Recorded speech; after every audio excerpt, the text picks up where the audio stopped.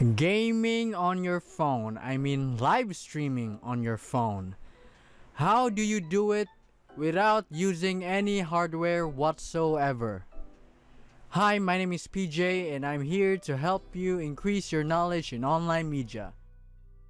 So, again, uh, live streaming games using your phone to a computer, which what you want either through OBS or Prism Live Studio or any other streaming software out there. So some people like to start out with a simple uh, technique called screen sharing. So I just forgot the term. I just woke up.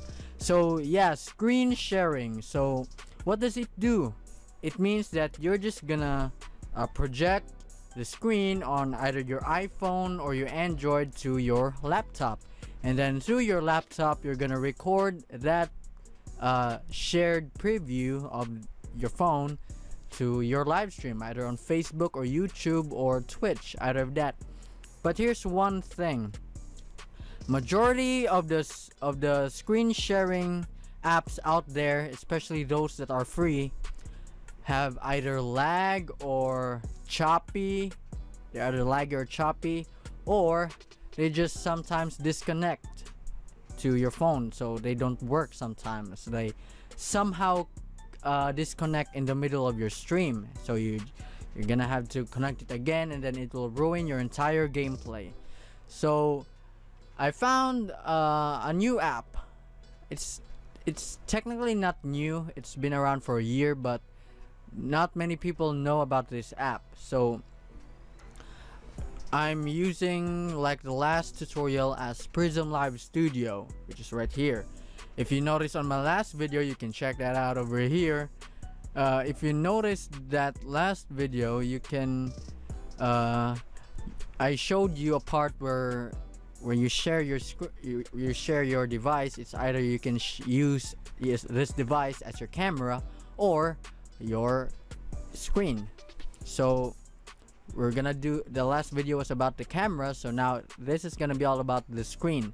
So here we are again in Prism Live Studio and then we have everything over here. It's pretty much the same thing as OBS it's just more simplified and uh, more focused on uh, easy understandable user interface and a much more friendly interface.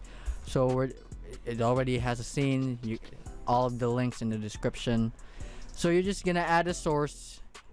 It's pretty much the same thing as OBS if you know about OBS. And then all this uh, text prism beside of it, it, it just means that it's a prism exclusive feature. So OBS doesn't have these unless you have uh, plugins and stuff. But it's I know plugins is good. Plugins are good, but it's better to have these like on uh, the default system. You don't need to download other stuff. So we're just gonna add prism mobile. And we're just gonna name it uh, iphone. I'm just gonna name it like that. And then just press ok. And then here you have a qr code. So now you're gonna need to download prism mobile on your app. It's pretty much uh, on the app store. You can't find it anywhere else but the app store. If you're on android you can find this on the google play store so it's pretty much the, the same thing as last time. If you saw last uh last yesterday's video it's just gonna be type in like prism mobile i'll pris i mean prism live studio. Then sorry for my internet connection. So here you have prism live studio. This logo so you're just gonna install it then download it. And then you can also do live streams just in this app you don't need to uh, use a computer if you want to. I'm gonna do a separate tutorial about that. But what you're gonna go is to this part the connect tab.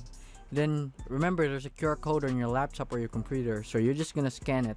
Then you basically have two options either a camera or a screen. So last video it, we talked about using this as a camera. Now we're gonna use this as a screen. So you're just gonna press screen if for iphone you just press connect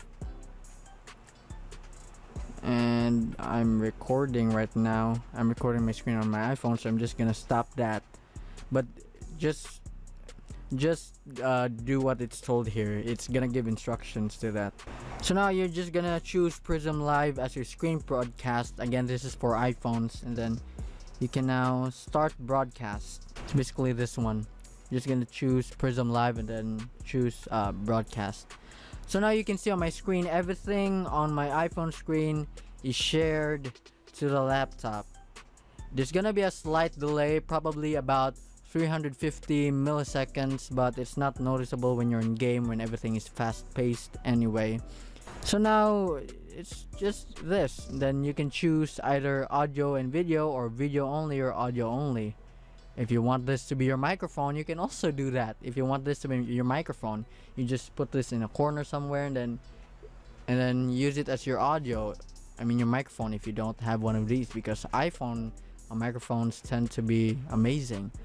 So we're just gonna choose audio and video. You can change the resolution though. I think they're still uh, working on that to make it a higher resolution. So you're just gonna have to upscale everything.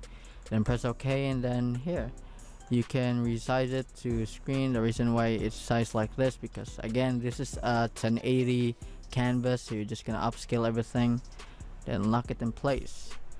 So now in case if you want to play some games like among us this is the only game i have on my other phone. It, it automatically auto rotates and then there. Now everything in your screen will be shown. So look i'm just gonna play a little bit of among us oh it's running an older version of the game. But still look at the quality of the screen share. It's not choppy.